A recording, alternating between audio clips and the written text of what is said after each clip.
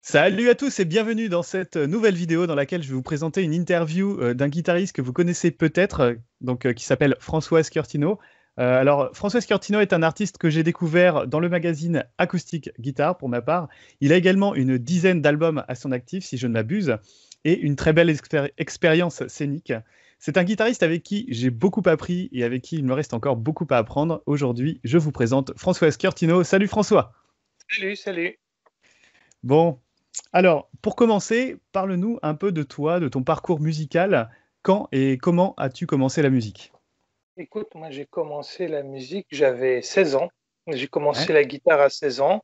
Et puis après, c'est un parcours, euh, je dirais, assez classique. C'est-à-dire, j'ai commencé bah, à gratter des accords, machin. Et puis, euh, je me suis intéressé un peu au blues, au, jazz, tout ça, enfin à toutes les musiques. Et en fait, ce qui mmh. m'a donné vraiment le, déclic, en tout cas, de faire de la guitare euh, en, tant que soliste, quoi, en finger picking, fingerstyle, c'est bon, pareil, c'est un truc assez basique. C'est qu'on m'a fait découvrir un album de Marcel Dadi. Et là, j'ai tout de suite euh, bah, accroché sur le fait bah, de pouvoir prendre ta guitare et de jouer tout seul tes basses, ta mélodie, ton accompagnement. Donc ça, c'est quand même vachement sympa. Et du coup, après, bah, après, euh, j'ai fait le conservatoire pendant quelques années, vraiment en classique. Et puis après, je me suis mis. Euh, après, c'était en autodidacte, quoi. C'était. Euh, j'ai acheté pas mal de bouquins, j'ai appris à droite à gauche. Tu sais, j'ai fait l'éponge, quoi. J'ai essayé d'absorber tout ce que je pouvais absorber. Et puis voilà. Et donc ça m'a. Ça m'a un parcours assez, assez classique. et donc, du coup, du coup, ouais, donc tes influences musicales, c'est Marcel Dadi. Est-ce que tu en as d'autres à nous partager? Si tu veux, ça a été une de mes premières, mais après, il y en a eu des, des milliers. Enfin, c'est-à-dire je me bah suis aussi pas mal de guitare électrique. Stevie Ray Vaughan, j'aimais bien. Brian Setzer. Euh, après, j'écoutais en, tant que guitariste, j'étais dans. Après, j'aimais bien Satriani, Vai, enfin tout. Euh. Après, j'ai eu une période où j'étais dans la musique brésilienne. Donc, c'était Baden Powell, c'était tous les guitaristes brésiliens. Je suis ainsi un peu intéressé au jazz, au flamenco. Enfin, donc, en fait, il y a plein de plein d'influences, quoi. Bah, d'ailleurs, il a fait. Euh, d'ailleurs, euh, tu as fait un arrangement euh, de La vie en rose un petit peu dans, dans, ce style-là. Et d'ailleurs, je vous invite à aller voir la, la vidéo. C'est un super arrangement. Voilà. un peu bossa, tout ça, c'était sympa. Ouais, ouais, ouais, tout à fait, ouais. alors, quel est le meilleur conseil que tu aies reçu dans ta pratique de la guitare?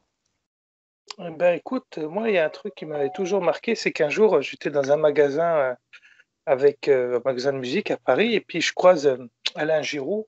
Alain Giroud, c'est un guitariste de blues français euh, qui a beaucoup fait pour le blues acoustique en France. Donc moi, j'achetais ses bouquins, j'achetais ses méthodes et tout.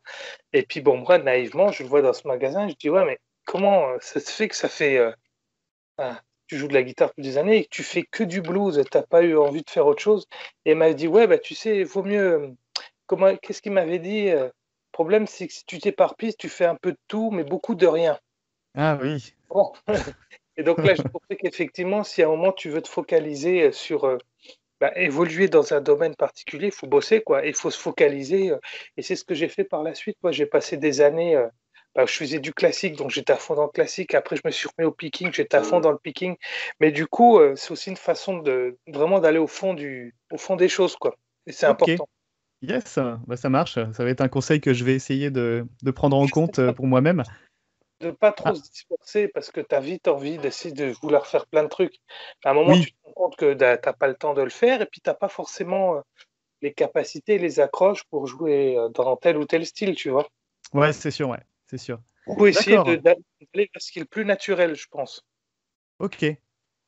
Ok, d'accord. Yes. Voilà. Bon, bah, c'est cool. Euh, alors, on va, on va aborder un petit peu les questions du matériel. Je vois que tu as une guitare euh, dans tes mains. Et donc, euh, je voulais savoir ce que tu utilisais comme guitare et si tu as des guitares favorites. Eh ben, écoute, en ce moment, j'ai trois guitares. J'ai cette guitare, j'ai une guitare de Thomas Fejos, qui est un luthier français, là. Celle-ci encore. Ah, yes. J'ai une guitare de Richard Baudré aussi. C'est un modèle signature qu'on élabore ensemble. Et là, on va, on est sur la troisième, euh, sur la troisième version. Parce que bon, on fait une version, je joue, joue quelques mois avec, et puis après je dis, bah tiens, en fait, ça, j'aimerais bien le changer. Euh, ça, ça me correspond plus. Alors les instruments sont, très bons, évidemment, mais après, euh, ce sont des choses qui sont très personnelles, tu vois, dans le choix des bois, dans le choix de, bah, des largeurs de manche, de ce genre de choses, tu vois. Et puis, donc, j'ai une guitare de Thomas, une guitare de, Richard et j'ai aussi une guitare euh, Boucher. Ok, d'accord. Donc, c'est surtout des guitares de luthier. Euh. Ouais, c'est vrai. Mais en même temps, j'ai eu plein de guitares de plein de marques, des Taylor, des Larrivée. Enfin, j'ai eu plein, plein, plein de choses bah, que j'ai appréciées aussi. Hein. Des instruments un peu plus de série. Mais après, ce qui est intéressant avec le luthier, c'est aussi le, le rapport humain que tu crées, tu vois, dans la création de l'instrument. Oui, c'est vrai, ouais. Dans, dans, le fait de, d'avoir des idées, de les faire évoluer. Mais maintenant, bon, après, voilà, ça dépend de. Après, c'est sûr que tu n'es pas dans les mêmes budgets que si tu vas acheter. Encore que si tu achètes une guitare industrielle haut de gamme, tu vas la payer quand même très cher. Oui, tout à fait, ouais. Il y a plein de bons instruments partout, qu'ils soient de série, qu'ils soient de luthier. Après, il faut trouver ce qui correspond le mieux. Quoi. Et en ce moment, voilà, et c'est ça. Puis j'ai aussi en guitare électrique, j'ai une Telecaster. D'accord, ok. Donc euh, une petite Fender, euh, ok. Exactement, ça, ça fait. Parce que je joue aussi de la guitare électrique, donc du coup, ça me. C'est bien pratique. Et la guitare électrique, tu la, tu la joues au doigt aussi? Enfin, en fingerpicking euh, Non? Non, plus médiator. D'accord, plus médiator, ouais. La guitare électrique, c'est plus dans un répertoire blues, funk rock, donc. ok, je vais jouer ça marche. D'accord, ok. Est-ce qu'il y a des vidéos d'ailleurs, euh, parce que j'en ai pas vraiment trouvé moi, de, de quand tu joues euh, de la guitare électrique, euh, c'est plus rare, dis-moi. il, doit, y en avoir une sur Facebook, sur mon profil, où je joue une Telecaster, mais effectivement, c'est plus rare. Si, si tu regardes aussi des vidéos où je joue sur une Gretsch. D'accord, sur une Gretsch, ouais, ok. Une Gretsch plus un peu façon Brian Setzer, tout ça, donc tu regardes sur YouTube, tu devrais trouver ça assez facilement. Eh bah, bah j'irai voir, carrément. Alors, quelles sont euh, tes cordes favorites euh, Donc, la, marque Tyran euh? Moi, j'ai essayé plein de cordes. Et là, moi, ce que j'utilise depuis plusieurs mois, c'est des, des Dadario J16. C'est des, assez classique. Mais là, c'est pas des J16, c'est un truc qui s'appelle bronze, je sais pas quoi, aluminium bronze. En fait, ça ressemble à des cartes des guitares électriques et j'aime bien le son. D'accord. Euh, ok. J'aime bien changer aussi, ça dépend des fois. Tu vois, des fois, je remets des élixirs parce que je trouve que c'est pratique. Et puis, mais pour le grain, enfin, moi, pour le grain naturel de l'instrument, même si tu as un peu plus de bruit de doigts, que ça dure un peu moins longtemps, j'aime bien les, les Dadario. D'accord, ok, Dadario. Euh, est-ce que tu as des accessoires également que tu utilises régulièrement? Ben oui, ben j'utilise pas mal les capots. bon, là, j'ai un capot qui est proché. J'utilise aussi pas mal. Attends, bouge pas. J'arrive.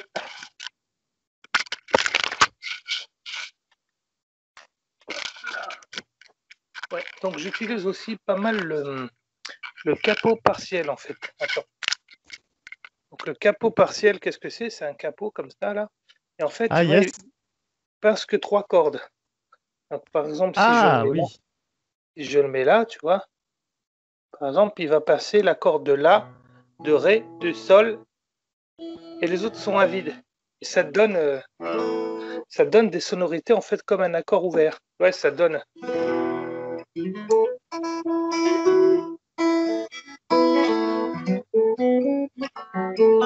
tu peux jouer vachement avec les cordes à vide et c'est toi pour le.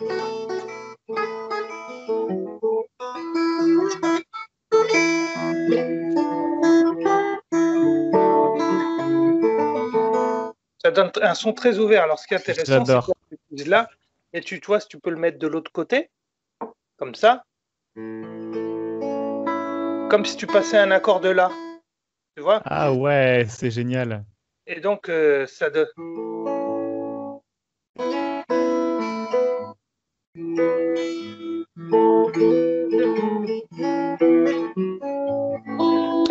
il y a plein de, plein de combinaisons, tu vois. J'aime bien utiliser certains morceaux. Je vais mettre sur la corde de, ré, de La, Ré, Sol, mais sur la casse 4.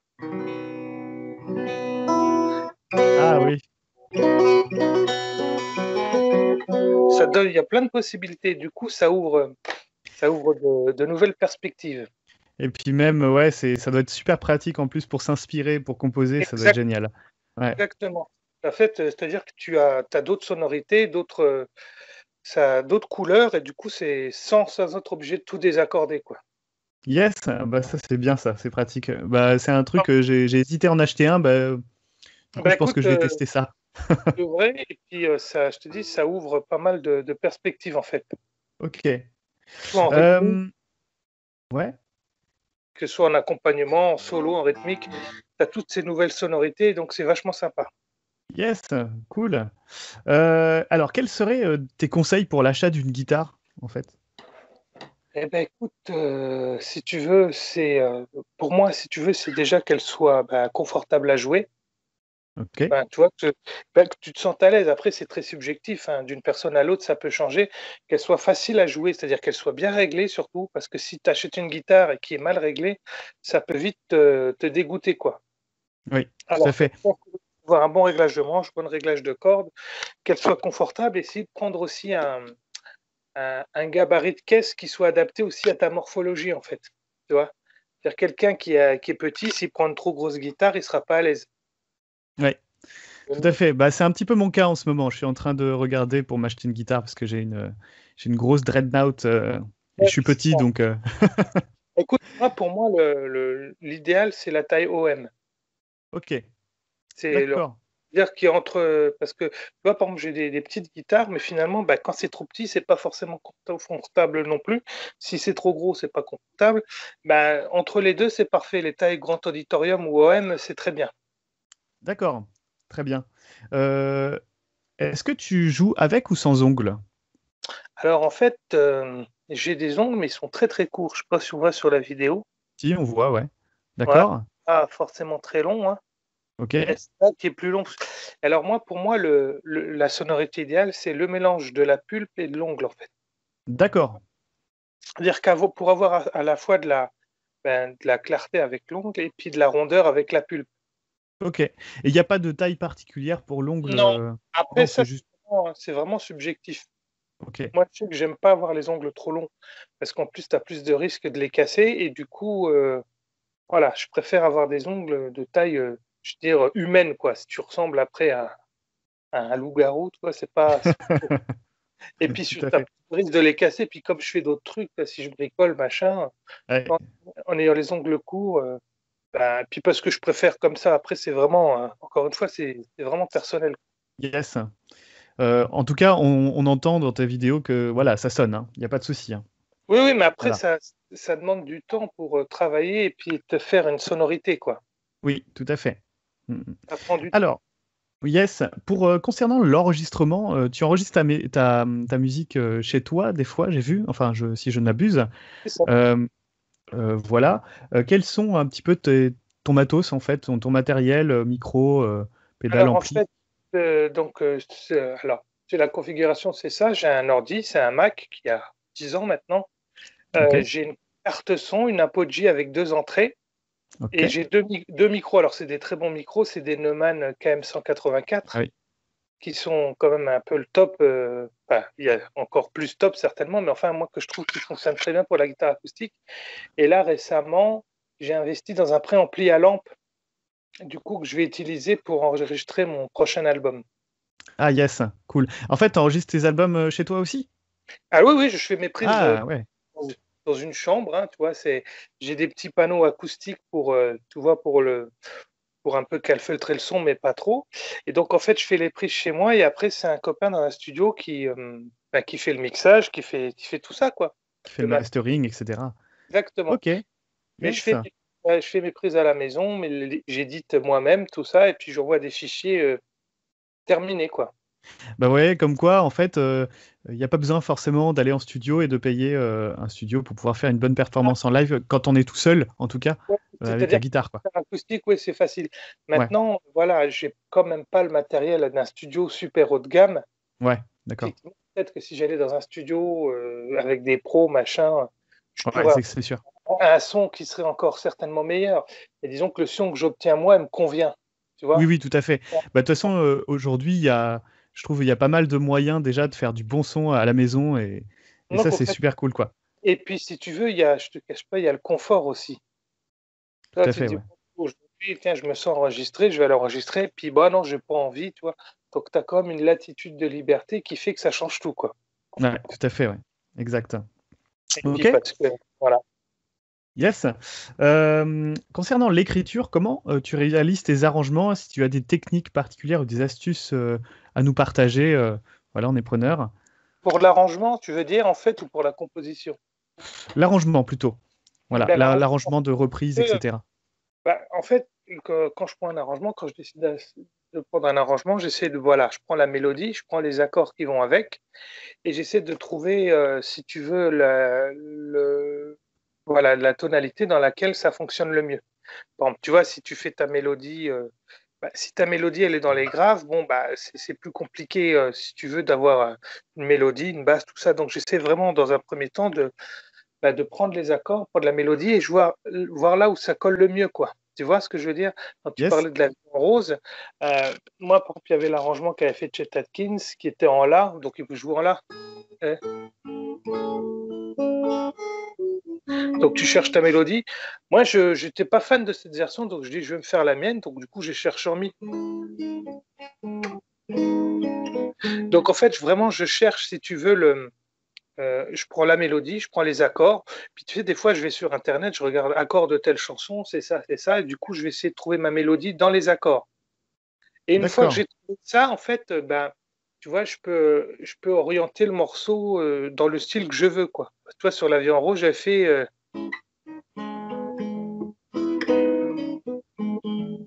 J'ai fait un peu bossa, tu vois. Mais après, il y a une partie où je fais plus picking.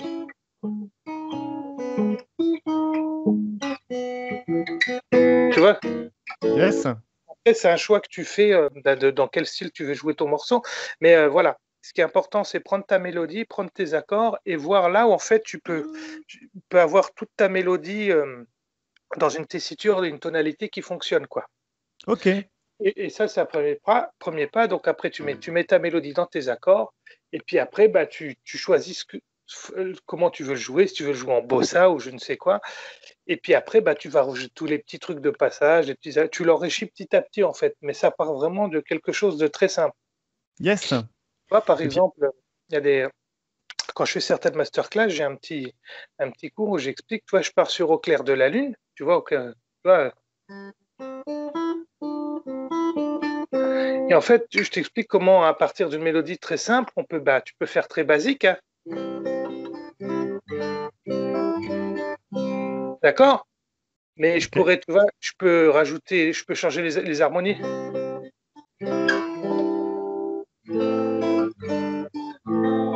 Toi, je peux changer mes accords autour de la mélodie. Je peux faire des lignes de basse. Je peux, faire, je peux le faire plus jazzy.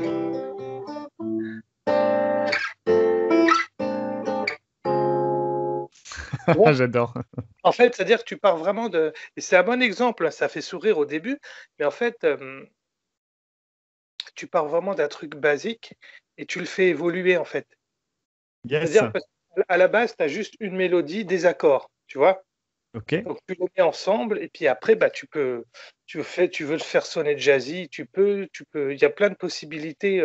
Après, c'est un vocabulaire qu'il faut acquérir, des techniques pour faire évoluer ton arrangement. Quoi. Tout à fait tout à fait. Euh, il faut, faut, notamment trouver euh, la note de la mélodie, j'imagine, dans l'accord à la base, et puis essayer de, de, trouver les sonorités. Quoi. Là, tu vois, si je fais. Euh, toi, Mais je pourrais faire dans une autre tonalité. En sol. C'est déjà un autre caractère, mais du coup, ça met ta, ta mélodie un peu plus dans les, dans les graves. Oui. Si je veux la même chose dans les aigus, il faut que j'aille chercher ailleurs.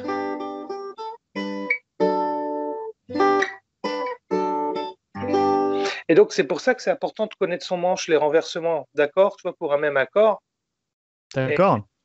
parce que si tu changes de tonalité, tu n'as pas forcément les mêmes couleurs. Si je fais en mi.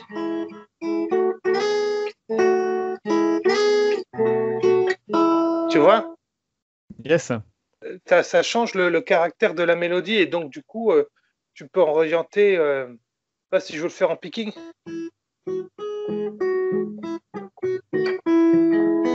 Toi, je peux le faire en, balade.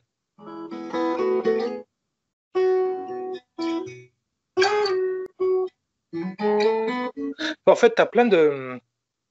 Tu peux emmener dans plein de directions différentes. Voilà, et plus on a de vocabulaire, je pense, plus on a appris. Euh, exact. Mais tu sais, c'est comme, euh, c'est comme pour la lecture, l'écriture. Plus tu as de vocabulaire, plus tu as de mots, mieux tu peux t'exprimer. quoi. Tout à fait. exactement. Euh... Processus. Et alors après, tu as, deux, as deux écoles, hein. enfin deux écoles, moi je suis dans les deux. Il y en a qui vont vraiment tout faire à l'oreille, tu vois, en cherchant. Et puis bah, tu peux aussi appliquer des règles théoriques, des méthodes théoriques. Qui... Et je pense que l'idéal, c'est d'être entre les deux, tu vois. Faire travailler l'oreille parce que c'est important, et puis d'utiliser aussi tout, tout l'aspect euh, théorique des choses, quoi. Voilà. D'accord, ok. En fait, c'est euh, euh, entre l'analyse et le ressenti. Il faut vraiment être. Parce que dans les deux. Quoi. il faut être là, il faut être là. Moi, je pense que non, c'est qu'il faut être au milieu, tu vois. C'est un équilibre, en fait. Exactement, exactement. Yes, bah super.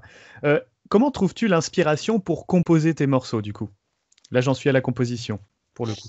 Alors, en fait, il y a, pas, y a plusieurs approches, si tu veux. Euh, euh, il y a plusieurs approches. Si tu veux, en fait, quand j'ai commencé à composer, je, vraiment, je composais que sur l'instrument, tu vois en me disant, tiens, je cherchais des, suites d'accords euh, euh, qui me plaisaient. Ce que j'ai beaucoup fait au début, je déchiffrais des morceaux d'autres guitaristes sans forcément les apprendre.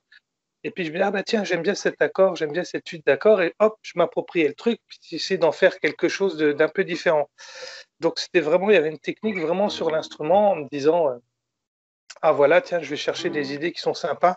Je me souviens au début, j'essayais vraiment de me dire, allez, je prends ma guitare, je prends une heure et pendant une heure, je vais essayer de trouver des idées, qui, des trucs qui me plaisent, des accords, des mélodies, des, enchaînements.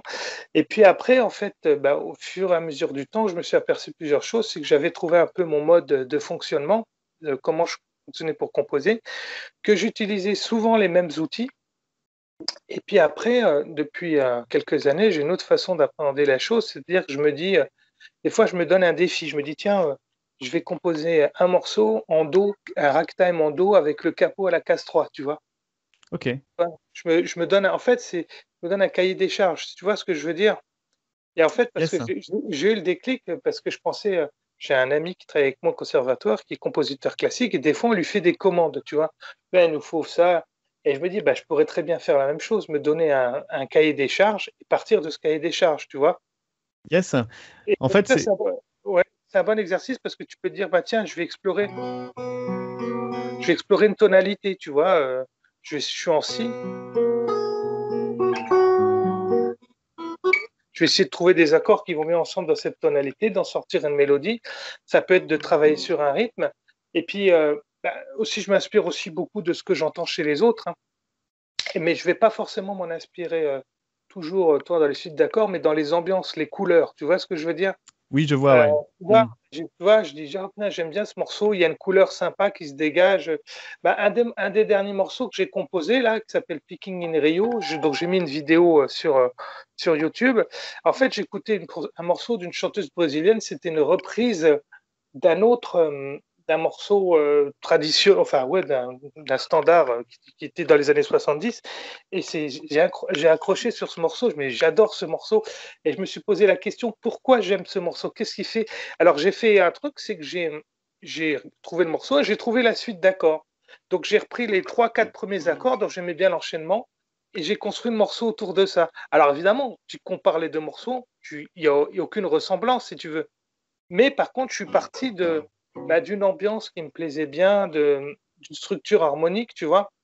D'accord. Et, en fait, tu t'inspires, moi je m'inspire de tout, de tout ce qu'il y a autour de moi, mais je, donc je suis, il y a un travail sur l'instrument, de chercher les choses sur l'instrument, mais aussi euh, de, de, travailler en se disant, tiens, j'aime bien cette ambiance-là, j'aime bien cette couleur-là, euh, J'aime bien le style de ce guitariste, si j'essaie de composer dans son style. Et c'est pour ça que, si tu veux, moi, j'ai pas la prétention de dire, oui, euh, j'ai créé un... ma musique est 100% originale. C'est ma musique, mais en fait, elle se, elle se nourrit de tout, quoi. En fait, c'est toujours le cas, hein, de toute façon, je pense, parce qu'on peut pas. Sûr. Voilà. Bah, t'écoutes euh, guitariste de blues, et n'importe quel guitariste, il va te sortir des plans qui sont des plans qu'il a piqués à droite. Enfin, je veux dire, voilà, c'est, on se nourrit tous les uns les autres et on avance comme ça, quoi. Bah, c'est ça qui est beau aussi hein, dans la musique. Exactement. Et euh, d'accord. En fait, euh, là, euh, pour revenir à, ce que, en fait, tu te crées des contraintes en exprimant une, une, certaine liberté. effectivement, moi, je pense que c'est toujours intéressant de se donner des contraintes, puisqu'en fait, sinon, ça devient un peu du n'importe quoi. En fait, bah c'est ce qui mmh. c'est la, c'est la différence entre la liberté et, le n'importe quoi. En fait, je pense que c'est. Bah, c'est-à-dire que tu as, des contraintes, c'est-à-dire qu'en même temps, tu as une contrainte. Si je me dis, tiens, je vais essayer de composer un morceau en Do, pardon, capot 3, alors tu donnes une contrainte, mais en même temps, tu as la liberté, tu as quand même une liberté dans un cadre, tu vois. Oui, tout à fait, ouais, c'est ça. mais c'est yes. dans le travail, tu vois. Là, je vais, je vais commencer l'enregistrement de mon album. Je prends les morceaux, je les bosse. Tu vois, il faut se donner une rigueur, mais j'ai une, une, liberté aussi dans la façon dont je peux les jouer, tout ça. Mais c'est comme je te disais tout à l'heure, c'est vraiment un équilibre, être entre deux, plutôt que dans, dans un extrême ou l'autre, quoi. D'accord, c'est super intéressant en tout cas. Euh, yes. Euh, alors, euh, malgré tout, malgré ton, ton capot, comment tu t'appelles ça déjà Un capot trois cordes Un capot partiel.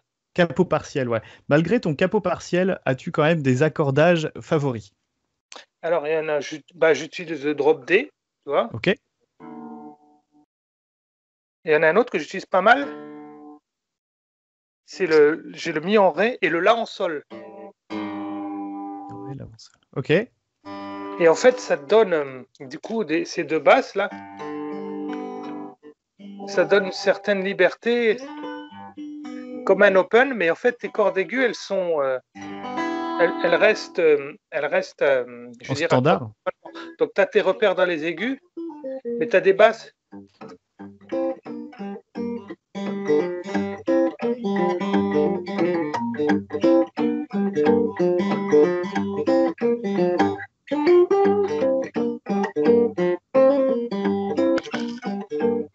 Toi, tu as cette basse? C'est toujours un plaisir de t'écouter en tout cas. C'est vraiment. Euh, Et du coup, là, tu vois, c'est je suis en sol. Yes. Je peux naviguer dans différentes tonalités, même si sol, c'est la tonalité la plus évidente. Mais je peux faire sol majeur, sol mineur.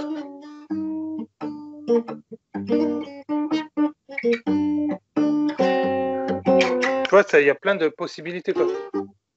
Mais tu as ces deux basses à vide donne une certaine liberté, mais je vais pas au-delà de, cet accordage en fait. Ok, ça marche. Et eh ben, franchement, euh, c'est déjà pas mal de matière. Euh, il y a beaucoup à faire déjà. Mais euh, si tu veux, même en accordage normal, standard, je vais toujours chercher le, le, travail avec les cordes à vide, tu vois. Essayer de trouver des beaux accords en cordes à vide. Et ça, je trouve ça très intéressant. Ça fait, résonner, ça fait résonner l'instrument, c'est sympa. Tu vois, d'avoir euh, tu vois, des genres d'accords.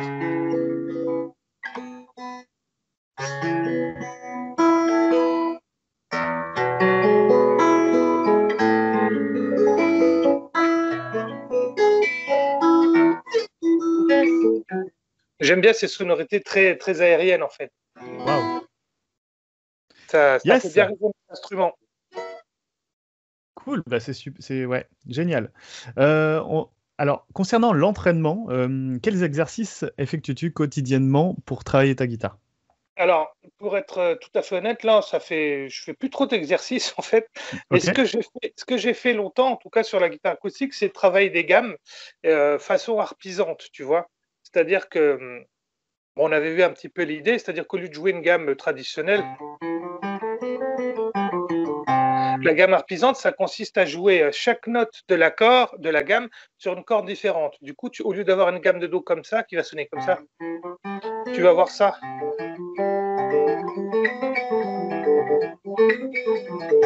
Avec que des cordes à vide, c'est-à-dire que là, je vais avoir le Do sur une corde, le Ré à vide, le Mi sur une corde, le Fa sur une corde et le Sol à vide. Donc tu vas avoir Mi, Fa, Sol qui suivent comme ça. Là, si à vide, et du coup, ça donne une. J'ai beaucoup fait ça dans différentes tonalités.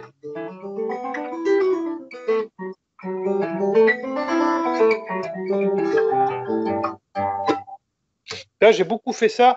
Après, bah oui, il y a eu des périodes où je, je travaillais beaucoup de des plans de jazz, machin, mais bon, comme je les retiens pas beaucoup, euh, c'était pas, j'ai arrêté. Donc j'essaie de faire mes propres trucs maintenant. Mais voilà, j'ai beaucoup fait ce travail de, de vide. Après, il y a des trucs sympas à faire. Par exemple, c'est travailler euh, tout ce qui est enchaînement d'accords. Tu vois, il y avait un blues, euh, un guitariste américain qui s'appelle Ted Green, qui était un maître euh, des accords, tu vois. Et il y a quelques, petits blues sympas à bosser chez lui. Je me souviens plus trop, mais il y en avait. Il y avait un blues, un blues en sol de Ted Green où tu as, un accord partant.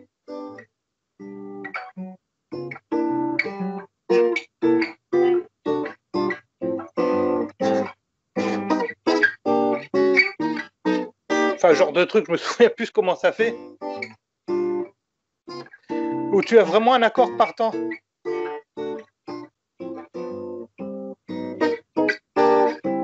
Ça revient doucement. Tu vois le genre de truc où tu. Et ça, c'est des, exercices qui sont vraiment intéressants à faire. D'ailleurs, je le repasse parce que je m'en souviens plus, mais euh, voilà ce genre de choses. Mais en fait, généralement, ce que je fais, ben, maintenant, je, quand je prends ma guitare, j'essaie surtout de réviser mes morceaux pour essayer de les jouer correctement. Ok. De voir un petit peu les passages qui sont un peu délicats. Euh, sur le prochain album, il y a un ou deux morceaux qui sont un peu coriaces, donc j'essaie de travailler la, la propreté, euh, avec des techniques un petit peu différentes. Donc, euh, travailler sur le rythme. Des fois, je mets un peu le métronome sur certains morceaux qui, sont très, qui ont beaucoup, besoin de beaucoup de régularité. Et puis, voilà. Après, euh, j'ai envie de te dire, ça dépend aussi à quel stade tu es de ton apprentissage. Par exemple, tu vois, quelqu'un qui débute, bah, c'est bien se donner un programme. Moi, je l'ai fait, si tu vas à une époque, pendant des années. Je me dis, surtout quand je faisais le conservatoire, je me dis, allez, pendant 30 minutes, je fais des études, pendant 40 minutes, je bosse ça, etc., etc. J'avais vraiment un programme établi. Je travaille des gammes, je fais des choses. Et ça, c'est peut-être important à un moment de l'apprentissage de le faire. D'accord, ok. Euh, et eh ben, du coup, euh, ça, en venait à la question euh, quel, quel, conseil en fait donnerais-tu pour, pour évoluer de façon efficace en fingerpicking, fingerstyle et en guitare en général? Si tu veux, bah, effectivement, déjà se focaliser sur, sur, sur un style dans lequel on veut progresser, c'est important. Et puis de, bah, de se faire, moi, ce que j'avais, que j'ai toujours d'ailleurs, je ne sais pas où elle est, c'est une liste de morceaux que je connais ou que je suis en apprentissage pour lesquels je suis en apprentissage et j'essaie, si tu veux, toujours de, bah, de les mettre à jour, tu vois. Et puis aussi de, faire attention, quand tu apprends un morceau, c'est d'avoir. Euh, je, fais ça en deux catégories. C'est-à-dire qu'avec les élèves, qu'ils aient un, morceau qu'ils peuvent euh, intégrer rapidement, d'accord Un ou deux morceaux que tu peux intégrer rapidement, c'est-à-dire où, tu, ou à court terme, tu vas pouvoir avoir des résultats et peut-être un morceau un peu plus compliqué qui va mettre un peu plus de temps à être intégré mais sur lequel, du, coup, tu peux voir aussi ton évolution.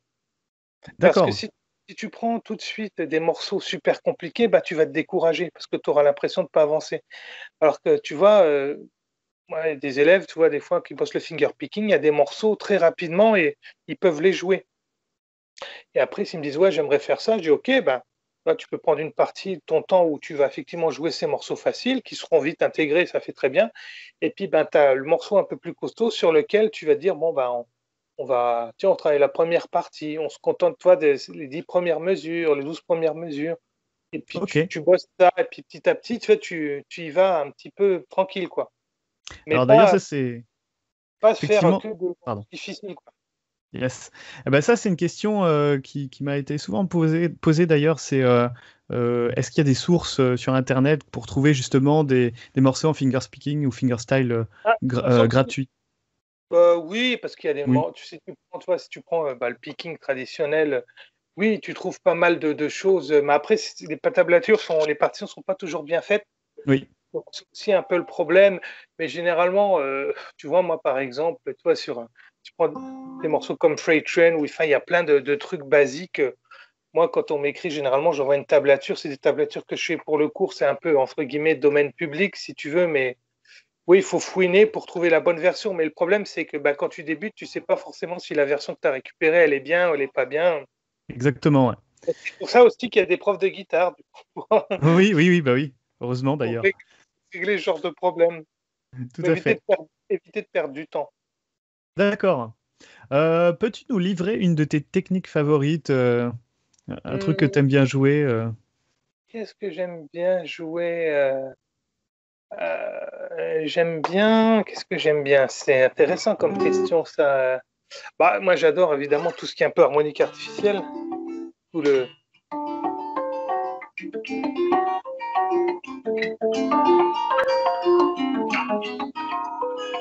Ce genre de truc.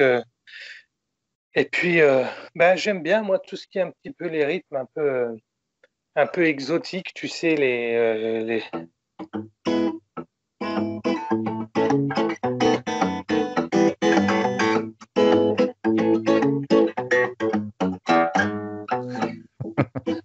Genre de choses, voilà. tout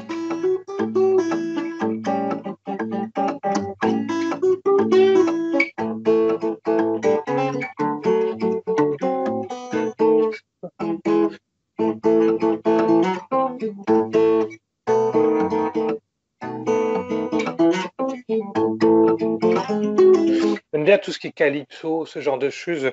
sur le prochain album, j'ai un tango où j'ai des choses un peu plus. Euh, j'aime bien tous les rythmes un petit peu où tu sais pas trop où tu es, par exemple.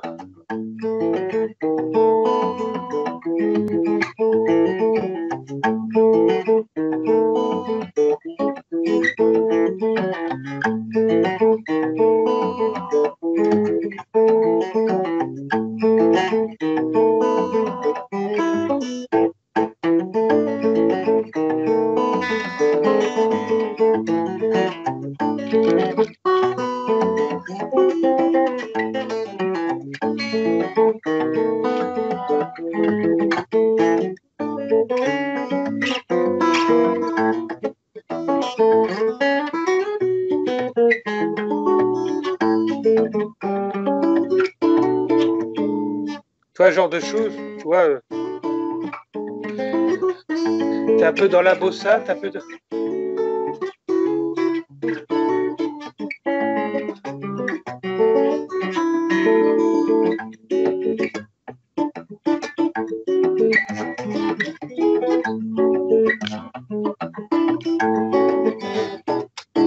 Tu vois, c'est un peu. Yes. les rythmes un peu syncopés, les, les tangos, les genres de choses, quoi. Est-ce qu'on a eu un extrait du prochain album là?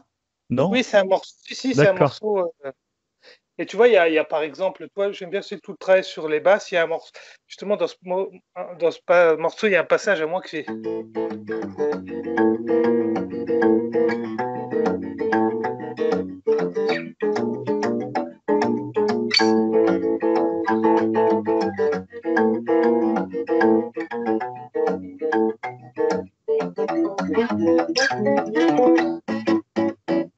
Tu vois, c'est un peu. Génial.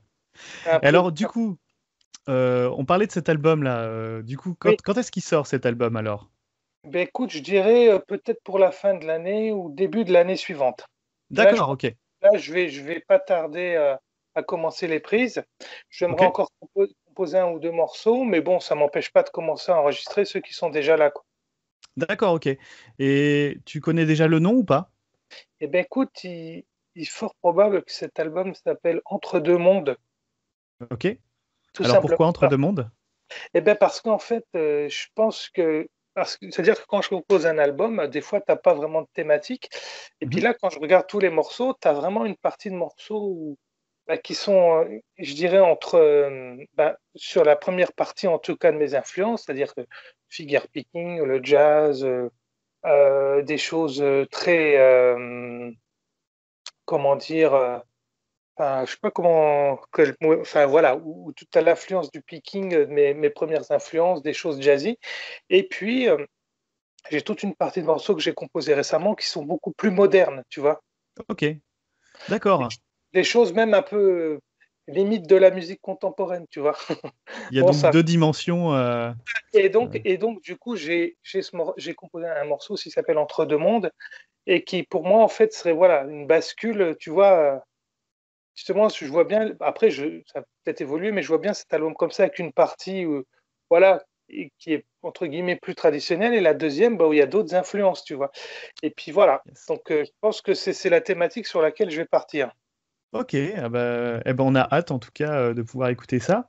Euh, yes, eh ben, euh, alors, quel est ton meilleur conseil pour performer sur scène, par contre, cette fois-ci? Bah, tu sais, moi quand je faisais la guitare classique, il y a mon prof qui me disait il faut que tu sois prêt entre 125 et 150% Parce que quand tu arrives sur scène, tu perds une partie de tes moyens. Et ben en fait, pour, euh, pour aller sur scène, je dirais c'est le même conseil que quand dans ton apprentissage. C'est-à-dire que il faut pas que tu, tu ailles sur scène avec des morceaux trop compliqués que tu maîtrises pas. Tu vois? Il faut essayer de d'avoir un répertoire que tu maîtrises bien. D'accord? Et, et pas forcément de se dire tu vas sur scène pour faire de l'esbrouf, tu vois ce que je veux dire? Oui, tout à fait, oui. Tu dis je vais essayer de prendre des morceaux que je maîtrise bien, même si c'est des morceaux simples, mais vaut mieux un morceau simple bien joué qu'un morceau que tu vas massacrer, tu vois Tout à fait. Et j'irai pour le post-concert, ce qu'il faut, c'est, encore une fois, moi j'ai toujours ma feuille où j'ai noté mes morceaux. Et dès que tu as l'occasion de, pouvoir jouer ton répertoire devant des personnes, il faut le faire. Tu vois, c'est parce que ça t'habitue un petit peu à être devant un public. Euh, parce qu'il y a un truc, il y a un phénomène qui est assez particulier sur scène, c'est que tu es chez toi, tu bosses dans ta chambre, dans ta salle à manger, où tu veux, tu es bien. Et puis tout d'un coup, tu te retrouves sur scène, mais en fait, tu es dans un environnement qui est totalement différent, visuellement parlant. Et du coup, ton cerveau, bah, il n'a plus forcément les mêmes repères, tu vois. C'est pour ça que c'est important de pouvoir euh, jouer, entre guillemets, j'ai envie de dire n'importe où. Quoi. Tout à fait. Hmm, d'accord. Euh, yes. Et, euh, et, si tu avais des conseils à donner à ceux qui veulent se lancer dans la guitare, quels seraient-ils? Ben, si tu, faut, faire attention de ne pas se lancer trop fort, parce que sinon tu risques de la casser. si dans la guitare, c'est pas sûr qu'il y ait beaucoup. Non, mais en fait, je dirais qu'il faut.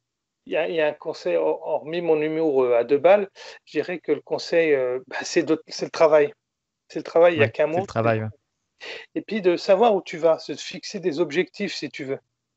Euh, toi, comme je t'expliquais tout à l'heure, moi j'ai des périodes où j'étais à fond bossage, des périodes où j'étais à fond blues, et puis tu vois, mais ça te permet d'avancer euh, dans un. d'être régulier, voilà. D'accord, il faut être régulier, ouais. Déterminé et euh, orienté dans une direction bien précise. Ça, ça, te fait gagner du temps. Yes.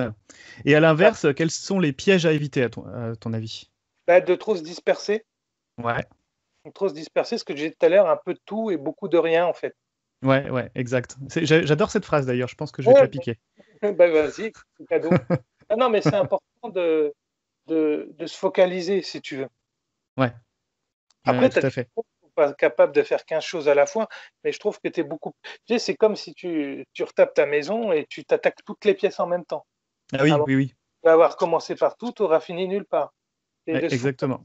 Moi, tu sais, à un moment, j'ai fait aussi le choix, par exemple, de, de, je bosse plus de morceaux d'autres musiciens, je m'en inspire dans la couleur, dans l'inspiration, et je me concentre que sur mes compos. Donc, quelques arrangements que je fais, mais je ne joue que mes compos en fait. Ok, d'accord, ça marche. Voilà. Euh, ok, bah c'est super. Euh, où est-ce qu'on peut en apprendre un peu plus sur toi, ta musique et tes projets? Eh ben, écoute, j'ai un site internet où il y a. Euh, bah, tu peux trouver mes albums, tu peux trouver mes songbooks, il y a des vidéos, il y a des partitions gratuites aussi. Ok il y a une petite bio, et puis voilà. Puis sinon, on peut m'écrire, et puis je répondrai aux questions volontiers. Yes. Alors, c'est euh, le site, c'est françoiscurtino.com, un truc comme ça .fr. .fr. .fr. françoiscurtino.fr. François, euh, François-surtino.fr. Yes. Après, tu tapes François Surtino sur, euh, sur un moteur de recherche, tu vas trouver tout de suite. Oui, oui, oui, tout à fait. Euh, et, au sujet des plateformes, donc on peut te retrouver bien évidemment sur YouTube, mais euh, est-ce que tu as d'autres plateformes euh, également? oui, bah, J'ai quelques albums sur les plateformes de streaming, mais j'ai pas tout mis. Tu vois, le dernier, j'ai. Alors moi, j'ai une approche, si tu veux, où quand je sors un album, je ne le mets pas tout de suite sur un site d'écoute, parce que comme je fais des albums physiques, je préfère vendre dans un premier temps les albums physiques, tu vois. D'accord. J'ai le stock, et puis parce que bah, il y a toute une polémique en ce moment, effectivement, sur sur les, droits d'auteur, sur les plateformes comme Deezer. Et donc, en fait, sur le prochain album, moi, je pense que ce que je vais faire, c'est que sur le site, les gens pourront acheter l'album. Alors, évidemment, tu n'es pas en écoute, mais ils pourront l'acheter évidemment en physique, en CD, mais ils pourront l'acheter aussi en version MP3. Euh, je vendrai certainement une version MP3 plus web, tu vois. D'accord.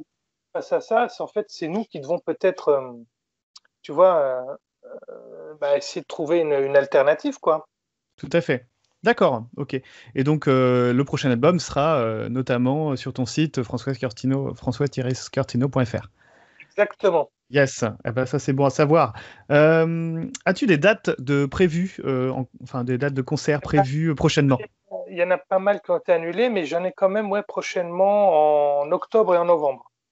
D'accord. Alors je rappelle qu'on est en ce moment même, là on enregistre la vidéo, on est à la fin, après la période de confinement, mais euh, on est toujours euh, dans euh, l'état de crise du coronavirus. voilà, je resitue pour ceux qui, qui, regardent la vidéo bien plus tard ou voilà. J'ai pas mis de masque pour l'interview, mais bon. voilà. Euh, donc oui, tu disais donc tu as plusieurs dates prévues euh, ah, quand même. Oui, oui, il y en a quand même quelques-unes. Bon, c'est des, petits, des petites dates, mais c'est bien aussi. Effectivement, j'ai des choses, j'avais des concerts en Italie, tout ça, tout a été annulé. D'accord. Reporté certainement. D'accord, ok. Eh ben, très bien. Eh ben voilà, bah, je pense que j'ai fait le tour de toutes les questions que je pouvais te poser.